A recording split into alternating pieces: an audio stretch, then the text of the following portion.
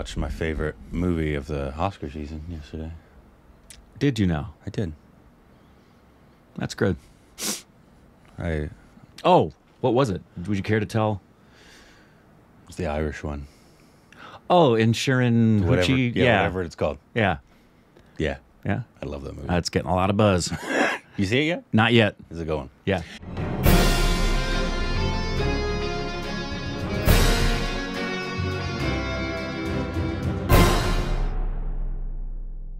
Hey, welcome back to our Stupid Rex with Korbin. I'm Colin Farrell. And I'm Mad Eye Moody. What what platform is it on? HBO. Okay, great. So yeah, Good to know. Give it a give it a watch on E. I'm very biased to the Irish. wonder wonder why. very biased, but it's a great film. It's Uh, getting yeah. tons of it's a front runner in so many categories on so many uh, lists. I mean, I haven't seen uh, hardly anything yet, so it's Yeah. that's like one of the first things I watched. That was awesome. So in other words, you haven't seen any Oscar contenders. The That's my first one you watch, it's your favorite. It's, the, Irish front one. runner. it's the Irish one. It's the front runner.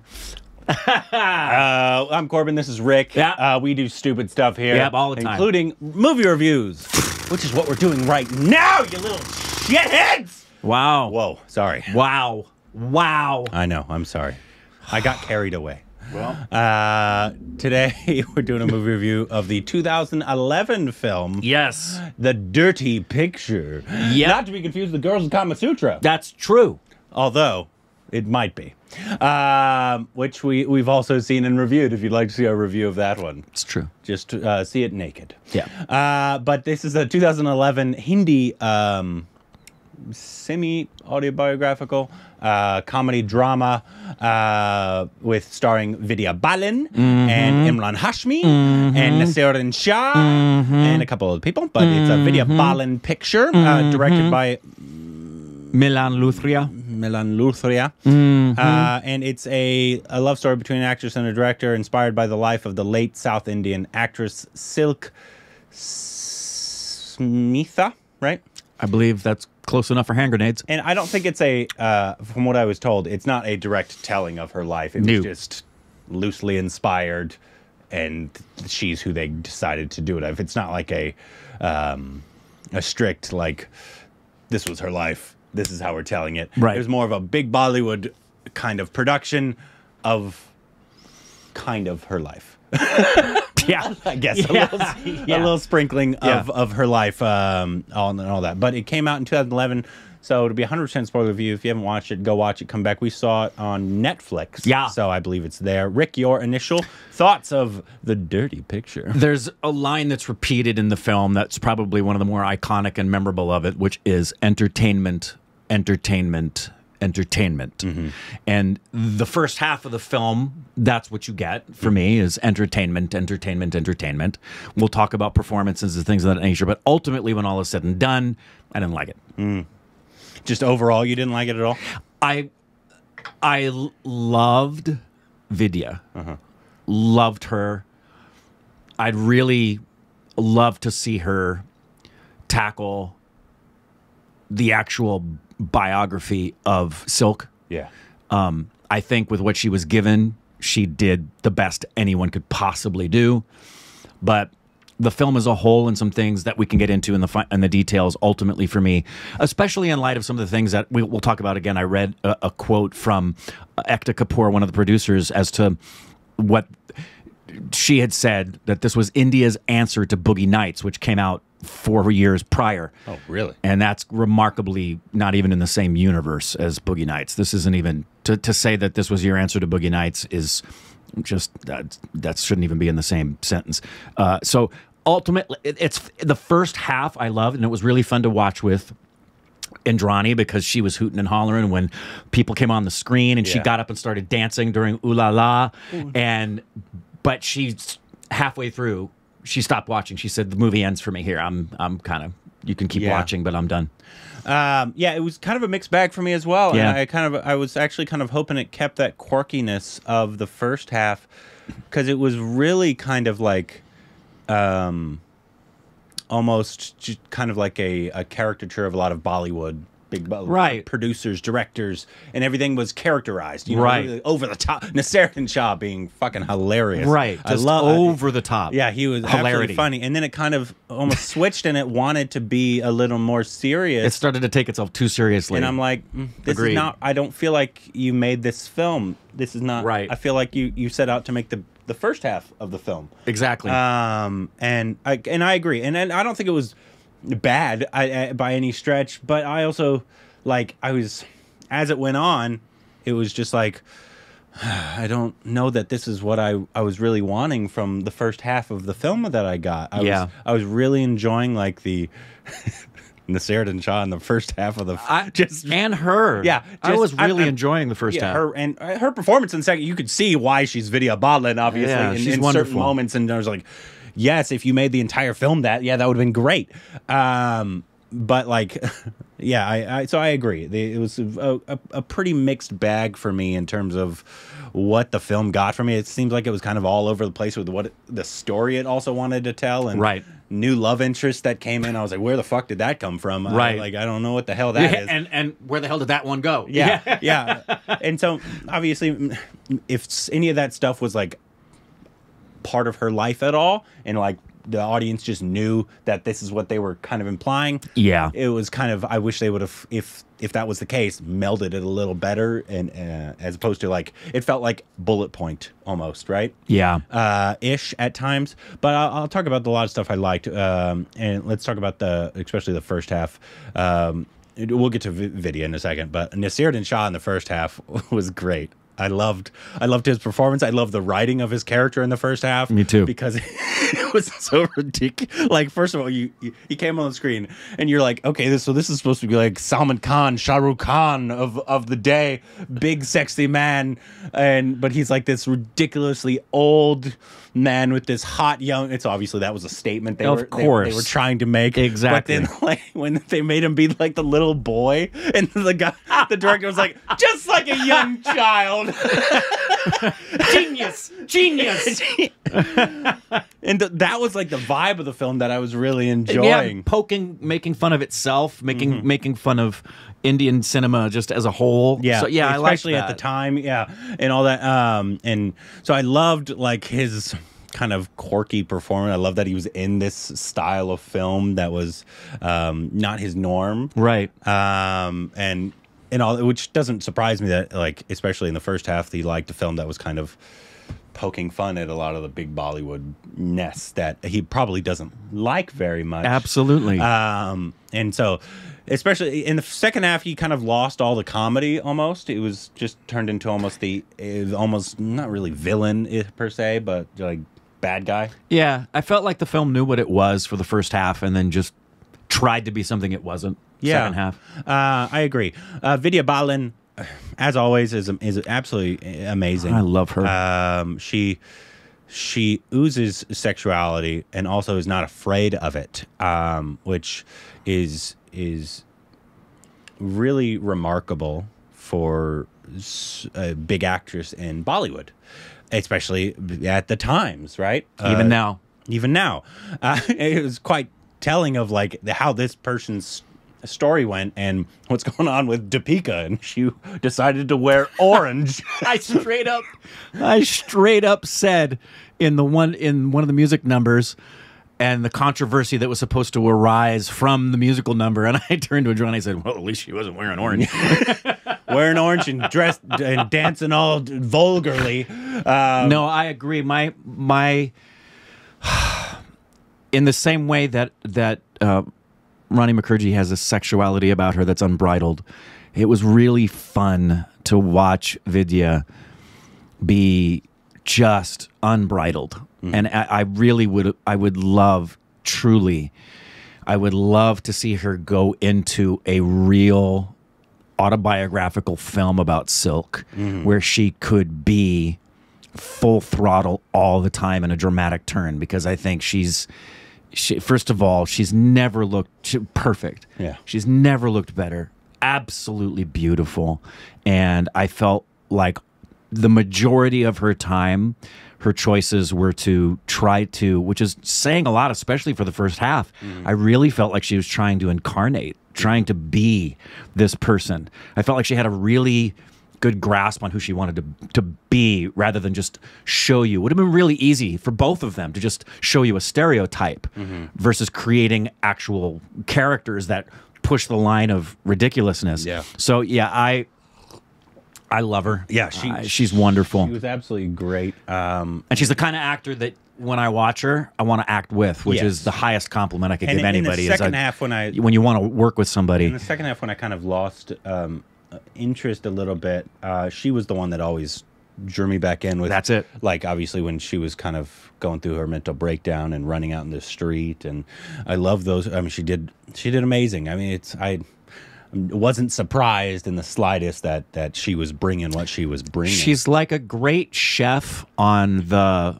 uh, cooking show where everybody's given the boxes of ingredients that just don't seem to make sense, and then the sh- they can turn it into something that, in spite of the ingredients, you're impressed with their creativity. Mm-hmm. It's exactly the analogy I would give for her performance in this. Is that she took some stuff that had ingredients that just don't really seem to, to, to fit on Yeah. their own, but because it was in her hands, I, I watched all the way through to the end, and my I was most impressed not with the ingredients, I was impressed with her. Yeah, and like I like a lot of the the the message of the film. Um, I don't think it was particularly clear all the time, though. Like obviously of how women are treated in the industry, eh, um, especially in Indian cinema. Of like, I mean, it's not just Indian cinema; it's Hollywood in general. It- It's getting a lot better now, but Yeah. it's from how it was of like, obviously the man could be a billion years old like Naseeruddin Shah and. His love interest is always going to be this hot 20 year old, but then once she turns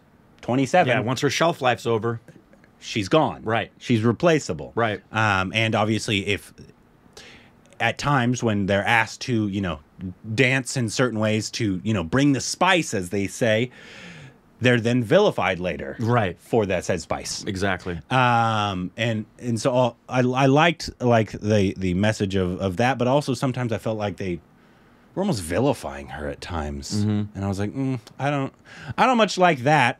Uh, and and like other times I was like, I don't know what messaging you're trying to send here, um, as opposed to just the um, we need to change how we do things and, and, and not treat women this way of, of like and, and there's nothing wrong with what she's if she's wearing in the poster she's wearing and she's wearing orange and doing uh, risque things uh, there's no actress right now that can relate to that i don't think. I don't think so. Um, but like, it's also so funny, like some of the stuff that like people like freaked out about, like uh, of of her, and and even Deepika, it's like, dan- they think she's dancing vulgarly. I'm like, mm, how about your penis made you feel funny, and you now feel bad about that? it's a sad the larger takeaway from me was something the movie itself doesn't particularly address directly. Maybe maybe it does directly. I don't know. You'd have to talk to the to, to the writers and the director. But something that we've consistently talked about and i've consistently seen i talk about it with my wife is what i consider to be a very sad thing that's happened in indian culture since the kama sutra to today. In particular what the puritanical prudishness of British occupation did hmm. to the, The culture. culture, Yeah. and and and religiousness, irrespective of what we're talking about with your belief system, you can give a name. There are way too many who impose a religious worldview on others that minimizes the blessing and the healthiness and the beauty of both male and female sexuality. And it's astonishing that that it's that way. It- we've seen it in cinema. You know, we've joked about the fact, and it's not a joke; it's a reality that the majority of scenes that depict anything relating to sex are cut to the item song, cut Yeah. to the song. Let's see the sunflowers. Let's. No one's going to kiss each other on the lips. Which, obviously, I, I was really happy with the kiss that she had on top of the car, where it was mouth to mouth, and we saw the kiss because she never kissed Nasir. And they wanted us to think she kissed Nasir, but she never kissed Nasir. Yeah. And uh, that is one of the more confounding things. It happens here too. I said that to Indrani while we were watching it last night. Uh, we weren't even watching this. We were watching something else. It was a news story that had to do with sexuality in some way, shape, or form, and how I I'm the only parent that I've ever heard of or known of who has openly said that I want my kids to have a really wonderful sex life and uh, openly talk about that. And it's my understanding, for example, sex education isn't even really taught unless you're just talking about some basic hygiene things. That sex education isn't even a part of the educational system in I India. I don't know. It was when I was, but that was a while. No, ago no, no, now. in India oh, in India. in Yeah, India, yeah, sense. and how uh, the only way you're going to learn certain things is through experimentation with your partner, and even then, how do you know you're getting that right? And if you bring up the subject of, hey, here's this will shock some of you, hey. Somebody want to have a class on how to properly perform cunnilingus? Uh oh. Well, censor, shut it down. Stop. That's it. Well, how how how do you figure that out? Well, just keep it in private. We don't talk about those things. Well, it's a human expression, and that's one of the things that I felt like this could have gotten into. Especially, I would have preferred. It's so far afield, really, from what I've read about Silk's life. Mm-hmm. Don't even give her the name Silk because you're you're letting the audience, many of whom would have heard who she was, maybe, and will see the movie and walk away and assume they know about her life. And to me, that does a really big disservice to her that you made the character her name and even gave a lot of even her death. The reality about Silk's death is not as straightforward as they made it in the film. Yeah. And people could walk away and say, "Oh, poor Silk. I remember her. She was a movie actress who tried, who was kind of forced into porn and hated it, and then she killed herself with a pill overdose and wrote a really cogent letter about it." And that's just not factual. No, yeah, I, I don't feel like I know any more about Silk. Uh, like I don't think I learned anything about Silk in this. And if you weren't supposed to, I don't know why it would be. It would, don't call her Silk. right. It's like making a film where there's a sex symbol and you're calling her Marilyn, but it's not really going to tell you anything about her life. So don't. Everyone's going to know who you're doing if it's a blonde bombshell named Marilyn in the 1960s Yeah. And 50s. Oh, Abhishek casted this. I wonder if that was one of his first things he ever casted. I do too. Because that was So, yeah, that was early on. Anyways, um, but yeah, so like, I I think like I I was kind of enjoying uh, like this guy's love interest with her a little bit, but then that completely fell off uh, like real fast. Both of them kind of did. Yeah, and like they didn't really give good reasons why either. we had the story at the beginning being told to us by Abraham. Mm-hmm. And then he disappears from the story for a very long time. Yeah. So then he comes back.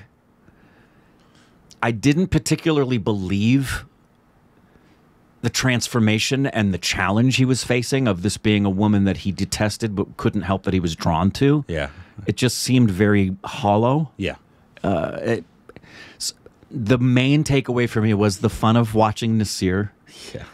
and the the master chef doing the best she could with the ingredients she was handed. Yeah. So like the the first half, if if it kept that kind of entertainment value, um, and didn't really try to go into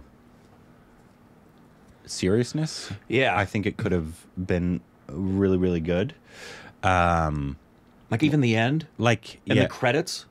I was waiting for an end credit number that was going to be the wink, wink, nudge, nudge. We had so much fun being silly, didn't we? But there wasn't any of that, Yeah. which again was the second half taking itself so seriously. Yeah, and um, yeah, I just, I just didn't understand the the change. Like it could have been like, almost like a um, because I know we haven't seen it yet, but Om Shanti Om is is a spoof on Bollywood, Right. And it's a full on spoof, Right. Like the entire thing, I believe, is almost like the first half. Like Right. ev- everything is making fun of old school Bollywood, the over the top acting, all Right. that kind of stuff, Right. And so that's almost what I was expecting a little bit, Me too. especially with how the first half Yeah, went. the tone change was strange. Yeah, and so hmm, And and I um dang it, I'm going off track with the thought just like you do. Something you had said about this. Dang it. Uh oh, that what it was. At moments I thought I was watching The Dark Knight. Score. I don't remember the Dark Knight score in this. Oh, Yeah, was it? yes. so much so I looked up how close it was in proximity to the release of Dark Knight, and it's only a couple of years. But Pre or prior? no, Dark Knight was 2008. yeah, 2008. So it, I mean, it had the, it had bum bum that you if you there. I'm surprised it didn't hit you because it would. At moments, I thought, okay, if Hans Zimmer's office heard this stuff, he might be a little peeved that some of this stuff was just copied. It, it was some of the scoring, and and I also the the soap opera melodrama e scoring where every moment had a dun dun dun underneath Yeah. worked in the first half. Yeah. but that tone with the score didn't happen. It, it, it remained in the second half when it was scripted to be more serious. It still had the f- kind of scoring it had in the first half of the film, which didn't seem to to match the feel for me. Yeah. So yeah, overall a, a very mixed bag for me. Um, just I loved Vidya. I loved She's a the lot, reason I loved watch a it. lot of stuff for the, in the first half, like Nasir. I think he was a lot of fun, especially in the first half. Um, I, maybe I was just expecting a little something different uh, from this film, especially since we just watched something with Silk in it, and we wanted to learn a lot more about her. Right. Um, This isn't it. no, this isn't it. But uh, I'm with my wife. yeah, Hoot and holler, laugh, dance, and then halfway through, watch something else. Yeah, watch your mouth. but uh, let us know what you thought about this film. What should be our next Vidya Balan uh, picture that we should watch? I know there's a lot more of her, and I would love to get to everything she's ever done. Love her. Uh, 'cause I know she's done uh, I think she's a very brave actress. No One Killed Jessica. Hichki, right? The the one where she is that one. Yeah. Uh, I think there's another one called starting starting with an M. Um, that a lot of people Mission Mangal? No. Not the, that's not the one I'm thinking of. Um, Do you have I, you, my favorite? Oh, she is in won't, Pa won't as well. surprise you. what? My favorite of hers that we've seen. Hera? Kahani. Oh, Khan. Oh, yeah. Obviously, yeah. I love I Kahani. forgot about that one. Um, but anyways, let us know what her next film uh, of ours should be. Uh, our next film of hers should be. And Uh, Nasir. and Nasir, Especially- of course. What about that one right there? I don't think that's a movie. It should be. I think it's just him on the beach being sexy. Uh, and uh, next, a Silk film. Yeah, is there watch. one a good, Yeah. legitimate? And I, I'm sorry to say this, but in close, can you make one without the censor board or people getting Probably up in not. arms? Because her life is quite erotic. I know. It's Make a shame. Let Hollywood make it. Or the French. Yeah. Anyways, let us know what you thought about this film down below.